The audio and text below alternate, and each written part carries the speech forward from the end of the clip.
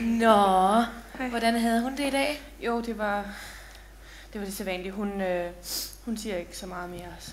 Nej, det er desværre sygdom. Ja, når hun endelig siger noget, så er det bare fuldstændig sort, og, og jeg forstår bare ikke, hvorfor det ikke bliver bedre. Men hun ved godt, at jeg er her, Christina. Det er jeg slet ikke i tvivl om. Tror du virkelig? Jeg ved det. Det hele virker bare som sådan et tidsspil. Ja, tidsspil. Specielt for hende. Kærlighed er aldrig tidsspil. Nej. Nej, det er også rigtigt. Øhm, Michael, kan vi ikke køre? Jeg vil rigtig gerne hjem nu. Jo, jeg skal lige... Øh, Helle? Ja. Jeg skal lige sige farvel til Helle, så Ja. kommer jeg. Tak. Puh, det er godt nok hårdt for din søster at se jeres mor på den her måde. Ja, Christina, hun har lidt travlt for tiden, så... Ja. Michael, I må endelig sige, hvis der er noget som helst, jeg kan gøre. Øhm, hvor meget får du i løn herude? Er, er du sådan godt betalt? Tak, jeg klarer mig. Men den er ikke sådan, skal vi sige, betydelig.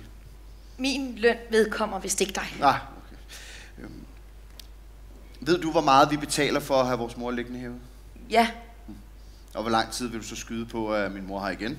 Michael, prøv at høre. Det tør jeg simpelthen ikke gisne om. Vi gør det så godt som overhovedet muligt prøv for lige hende. at, at stoppe det der standard svar, du er i gang med nu. Jeg vil gerne bede om et rigtigt svar. Så hvor lang tid har min mor igen? Godt. Ud fra min tidligere erfaring, så vil Tak. jeg nok skyde på, at hun har nogle år endnu.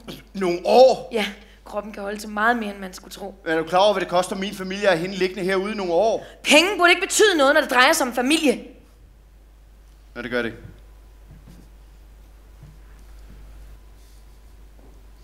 Jeg siger kun det her en gang. Men øh, jeg kan udbetale dig det, der svarer til et halvt års kost og logi her, hvis du på en eller anden måde kan sørge for, at min mors sygdom tager fart, så hun ikke er her om, skal vi sige, halvanden måned. Ja. Og hvis du siger det her til nogen, så, så benægter jeg selvfølgelig alt, det er klart. Men hvis du gerne vil have en betragtelig bonus oven i din lille sygeplejeløn, så, så skal jeg sørge for, at den kommer til dig, når jeg har fået nyheder om min mor. Tænk over det. Pænt hår, du har. Og fortsat god dag, Helle.